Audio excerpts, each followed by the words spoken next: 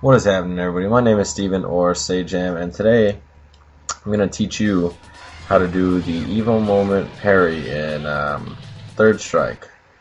And I know a lot of people like me were having a lot of problems with this, and now that I figured it out, I'm uh, going to do my best to teach you all how to do this trial yourself, so that you can feel as awesome as I did when I saw the success pop up on my screen.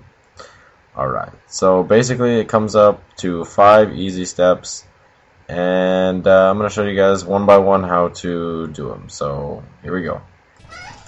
Alright, so first things first, uh, the, the, thing that you need to learn is actually the last thing that you have to do in the trial, which is the combo. Uh, and I know that may seem a little odd trying to do the last thing first, but if you can't do the combo, then doing the parry really won't matter. So that's what we're focusing on here first, is being able to do the combo. My recommendation to how to learn the combo is to go to Ken's Trials, because he actually has this this combo in his trials. So my suggestion is go and practice it until you can do it. I don't know three, four, five times in a row, and uh, you'll definitely be prepared when you have to do it in the trials. So you won't end up like me and miss it. I don't know, 15 or 20 times, like uh, you know, look stupid. So yeah, hopefully that guys that'll help you guys out for the first part. So now that you've done the last part of the pro, uh, the uh, combo here, we're gonna jump back to the front, which may or may not make any sense to you at all, but it's okay. So now we're going to go over the first hit of the super, how to parry that. The trick is when you're doing the first hit, you have to hit forward right before the super flashes, and then start to parry when Chun-Li comes after you. Now this is really hard to get um, used to at first, so I'm going to show a couple. Of, I'm going to show an example of how to do it, and then wrong ways that it was done. So hopefully you guys can tell the difference and you'll notice whether or not Ken has taken a full step, which is wrong, or slightly moved forward. So see if you guys can see the difference, and hopefully that'll help you out. Okay, so now that you've got the first hit of the parry down, you may be wondering, well, now what's the next step? And logically, it's to hit all the first seven hits. Now, to hit all the first seven hits, honestly, the best way to do it is just to find your own rhythm.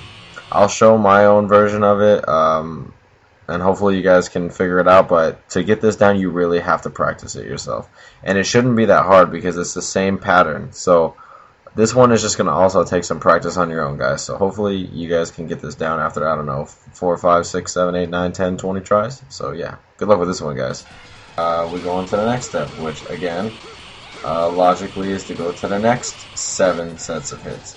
Now, this these seven hits are the same as the first seven, so as long as you have those down, you won't have any problem with this. The only part you're going to have trouble with is the break between them.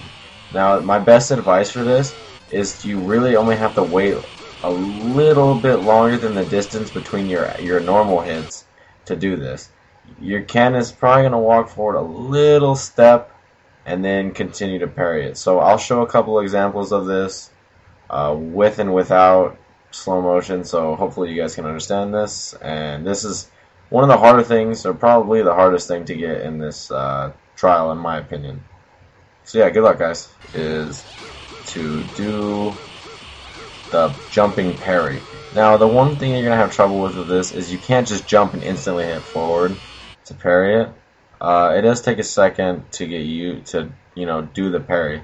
So that's my one thing that you have to worry about is getting used to when the kicks are gonna end and when you should jump, and also um, making sure not to hit forward right away. So this isn't that hard, guys. And once you have this, all you have to do is put it all together.